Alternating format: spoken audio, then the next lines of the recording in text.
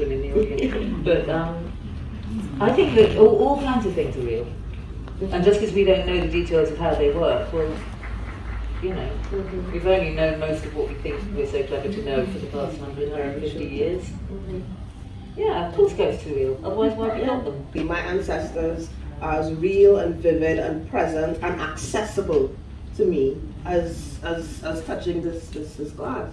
Um, I wouldn't I would not have known how to I mean, the, the thing is, my, my grandmother told, my grandmother mythologized our family in a lot of ways in her story.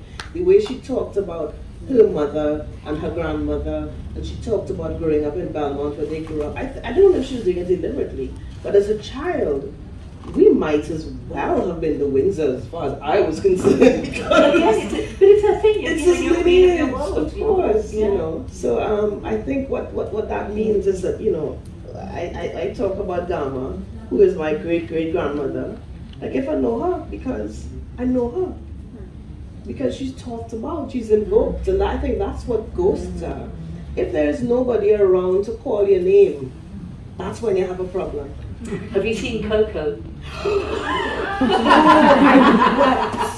I Ghost Ladies Bonding. What a great film. What a Have you seen it? film. Hands up who's seen Coco. Oh, Yeah. beautiful. Everybody else go home and watch Coco. Do it.